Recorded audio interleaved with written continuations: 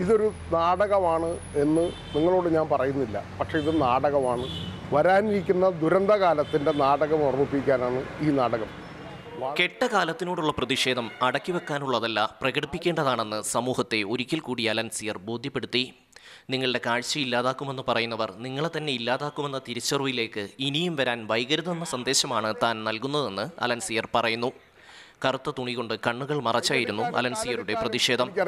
ഞാനൊരു നാടകക്കാരനാണ്. പക്ഷേ ഇപ്പോൾ അതിനുപോലും അനുവാദമില്ലാതെ എന്റെ കണ്ണു ചുഴിഞ്ഞെടുക്കുമെന്ന് പറയുന്ന ഒരു കാലത്തേക്ക് എന്നെ വിളിച്ചു കൊണ്ടുപോകുമ്പോൾ ഇന്ത്യൻ ജനത കാണുന്നതും കേൾക്കുന്നതും സംസാരിക്കുന്നതും തങ്ങൾക്ക് വേണ്ടിയായിരിക്കണമെന്ന തിട്ടൂരം അനുസരിക്കാൻ തനിക്ക് മനസ്സില്ലെന്ന് അലൻസിയർ പ്രഖ്യാപിക്കുന്നു. ഒരു കലാകാരന്റെ ബാധ്യതയാണ് ഇതെന്നും അദ്ദേഹം ഉറപ്പിക്കുന്നു. എന്റെ കണ്ണിനെ ഒരാൾ ഒരു ജനരക്ഷാ യാത്ര നടത്തുന്നതിനിടയിൽ ചുഴിഞ്ഞെടുത്ത് കളയും വീട്ടിൽ വന്ന് ചുഴിഞ്ഞെടുത്ത് കളയും എന്ന് പറയുന്ന സ്ഥലത്ത് എനിക്ക് നിങ്ങളുടെ കാഴ്ച മറയും. ബി ജെ പി നേതാവ് സരോജ് പാണ്ഡയ്ക്കെതിരെ ചവറ പോലീസ് സ്റ്റേഷനിൽ അലൻസിയർ പരാതിയും നൽകി.